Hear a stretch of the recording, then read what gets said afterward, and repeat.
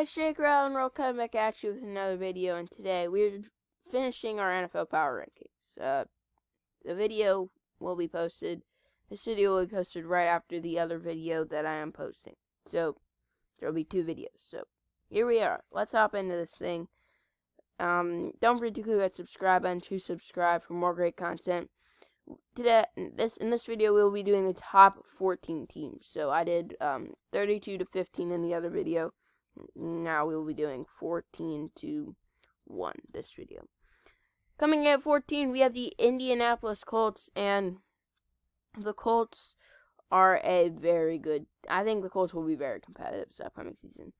But the Colts and the Titans both have a very tough schedule, so it might prevent them from doing as good things as they might could in other division. But the Colts, they are Colts and the Titans both have holes. The Colts hole is at wide receiver, and honestly, the Colts D has holes as well. They could, in my opinion, they could use another corner. They could use another linebacker. They could definitely use another defensive lineman. Their receiving core isn't that great at wide receiver and tight end, and that's where the Colts' problems are. But they, their main addition this offseason was training for Carson Wentz, and I think that that was a massive addition that the Colts needed to make. I think he will regain his MVP like form under Frank Reich. Not exactly MVP form, but definitely quality starting quarterback form. Coming at 13, it's Tennessee Titans. Their offense should be electric in 2021, but their problem is they really have no defense. Their defense wasn't good last season, and I really don't think it will be good again this season. They did they really don't need linebacker, but every other position on defense they definitely could use. They uh defensively they they only signed Bud Dupree to come off the edge. Harold Landry should thrive under there. Uh, but their D line, I other than Jeffrey Simmons, I really don't like their D line. Uh, their corners, they really have Caleb Farley and Janoris Jenkins should be okay, but they have nothing else. Kristian Fulton is like whatever. Same with Elijah Molden, but Kevin Byard is like the only really proven player in their secondary that I think will be elite. But their offense should be electric with Ryan Tannehill, Derrick Henry, Julio Jones, AJ Brown. Uh, they really don't have tight end or a third receiver, but they should be good otherwise. Um, their O line is still very good. Coming in number 12, I have the Arizona Cardinals. The Cardinals. Now, they're they're they're a quality team. It'll just be about putting things together for them. They are they're they're gonna have a good offense. They have Kyler Murray under center. They've addressed their O line by um, trading for Rodney Hudson. They have DeAndre Hopkins, one the best receiver in the league in my opinion. Um, they also have a they signed AJ Green. They have Christian Kirk. They drafted Rondale Moore. They already have Andy Isabella. Their receiving core is loaded. Running back and tight end can be upgraded, but they should be okay. Defensively, they drafted Zaven Collins round one. They have Zaven Collins and Isaiah Simmons now. That they should be an elite duo. They let Haason Reddick go, which is kind of a big loss in my opinion. But they made one of the arguably one of the biggest moves of this offseason by signing J.J. Watt to fix help fix their D line. They have Chandler Jones coming back, and Chandler Jones and J.J. Watt should be another dynamic duo in the Cardinals' front seven. But the Cardinals, what the Cardinals really need is corner, and I think they could. I think they're currently the top team for Xavier Howard. Uh, Xavier Howard wants out of Miami, and I think the Cardinals could definitely get him. Uh, they definitely need corner though. They have nothing. Don't Malcolm Butler is only good with the Patriots. Byron Murphy is a slot corner. They need an outside corner badly, and Xavier Howard would help their team out a lot. Their safeties are good with Budda Baker. Uh, Isaiah Simmons could also play safety. So I could definitely see the Cardinals being very good this upcoming NFL season if everything goes to plan. Coming in at number 11, we have the Seattle Seahawks, who, man, their offense is going to be good. We know their offense is going to be good. They have um, Russell Wilson, Chris Carson, DK Metcalf, Tyler Lockett, and they signed Gerald Everett. Their offense is going to be very good. but their off line is still bad. Even though they traded for Gabe Jackson, their offensive line is still bad, dude. They Duane Brown's okay, but the rest is just still not good.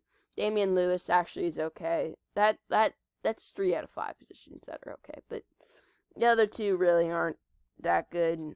Um, their D it, it played better towards the end of last season, but looking at it on paper, it's terrible. Zero corners. They really didn't have a pass rush last season. And when you look at it on paper, it's Bobby Wagner and Jamal Adams. That's really it. So, are they really going to fare much better? I think they're probably going to have another early exit in the playoffs. At, coming in at number 10, we have the New England Patriots. Uh, a team that fixed their team this offseason. Best offseason in the NFL.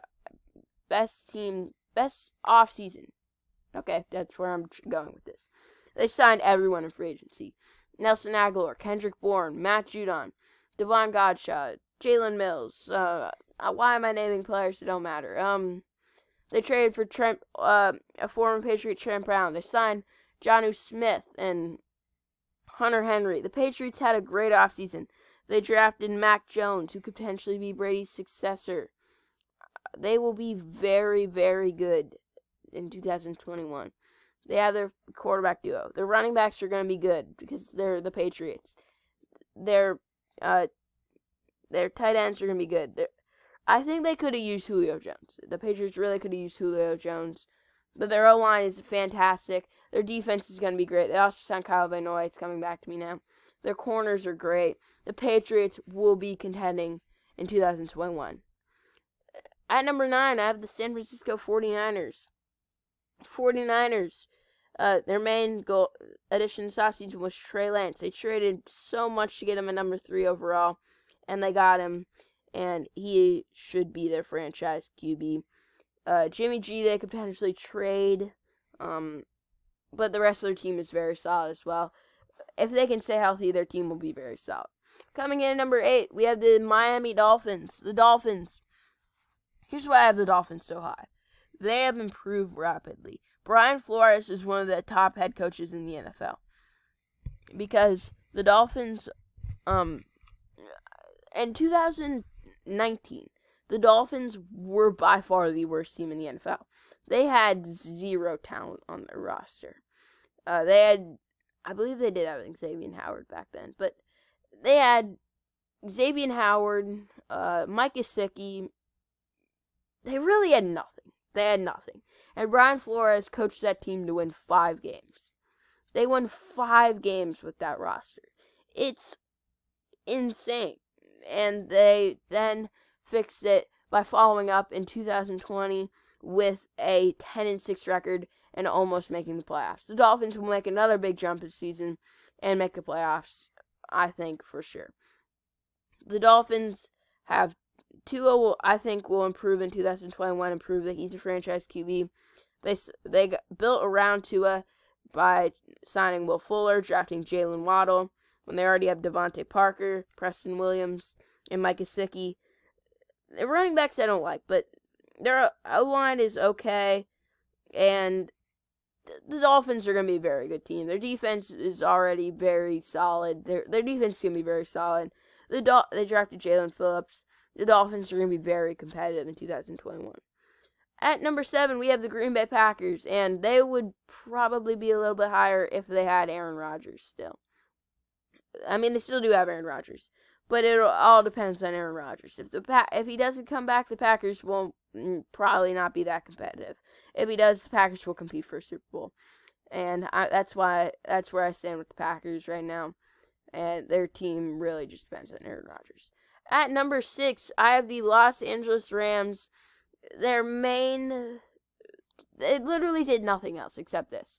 Their main thing this offseason was trade for Matthew Stafford and it automatically makes them a Super Bowl contender, in my opinion. Jared Goff was basically getting the play told to him by Sean McVay, and Matthew Stafford will fare so much better in LA. He loves it there. The Rams love. The fit is there. The Rams will be competing for a Super Bowl in 2021. At number five, I have the Baltimore Ravens. The Ravens Uh, they needed to address the receiver position because their receivers couldn't run routes that season. They needed more receiving help. They signed Sammy Watkins, drafted Rashod Bateman, uh, also drafted Tylan Wallace, who was a great uh, pick in the fourth round. They already have Mark Andrews. Their running backs are going to be good. J.K. Dobbins, Gus Edwards should be good. Their O line, they have Ronnie Stanley, uh, who's very good. They did lose Orlando Brown Jr., but they fixed it by signing Alejandro Villanueva. They're, I don't love the interior O line of the Ravens O line, but their D is gonna be good. They replaced Matthew Judon with Odafe Oweh. They drafted. They uh, have Patrick Queen at linebacker. D line's gonna be good. Brandon Williams and Calais Campbell. There's another guy there that I'm not thinking. Of, or Derek Wolfe, uh, who's just really okay. But in the secondary, they have arguably the best cornerback duo in the league in Mar- with Marlon Humphrey and Marcus Peters. They're going to be a very good team in 2021, but I think they will be worse than my favorite team, the Cleveland Browns. My Browns have the second most complete roster in the NFL behind the Bucks.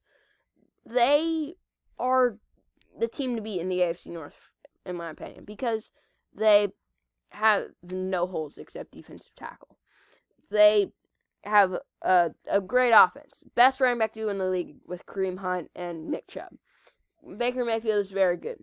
Receiving duo of Odell Beckham Jr. and Jarvis Landry is insane. They have three very good tight ends in David Njoku, Harrison Bryant, and uh, Austin Hooper. They have one of the best top five O line for sure in the league. They have one of the best edge rushing duos in the league in Myles Garrett and Jadeveon Clowney. They addressed linebacker. They signed Anthony Walker. They drafted Jeremiah Owusu-Koramoah, who's a great pick in round two. They uh, addressed corner. They already had Denzel Ward and um, uh, uh, Greedy Williams, who was oh, who's okay, but he has not seen the field.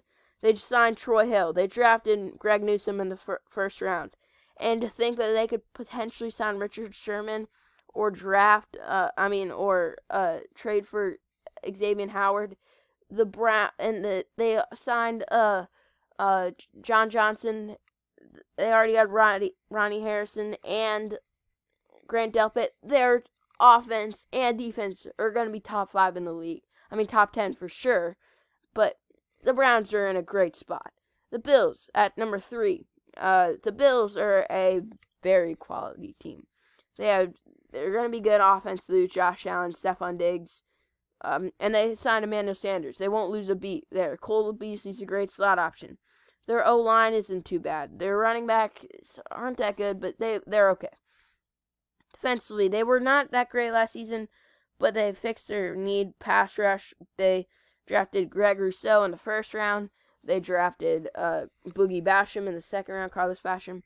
They're, they kept Matt Milano around, who nobody thought they would keep around. Tremaine Edmunds. The Bills are going to be very good with Tre'Davious Wright. Probably the best safety duo in the league with Jordan Poyer and uh, Micah Hyde. And number two, we have the Chiefs. The Chiefs' main goal was to fix their O line, and they did it in a big way. They have so many O linemen now. They signed, they released um, Eric Fisher and Mitchell Schwartz, their top two tackles and people thought, what are they doing? But then they fixed it. They signed, uh, they brought Kyle Long of retirement. They signed Austin Blythe. They traded for Orlando Brown Jr. They signed, they drafted Creed Humphrey. Their Chiefs O line is going to be dominant, and it will help. And Lorne Darn, what Tardif, the guy, uh, Lorne, I forget his name, but he's coming back as well. The defense is underrated it's always top 10 under Steve Spagnuolo's defense. At number one, it's the Tampa Bay Buccaneers. They bring all 22 stars back from their championship team. They will compete for Super Bowl again this season. Could potentially repeat. Hope you guys enjoyed this video uh, of my first NFL Power Rankings. Hope you guys enjoyed this video. Thank you so much for watching, and I will see you in the next one.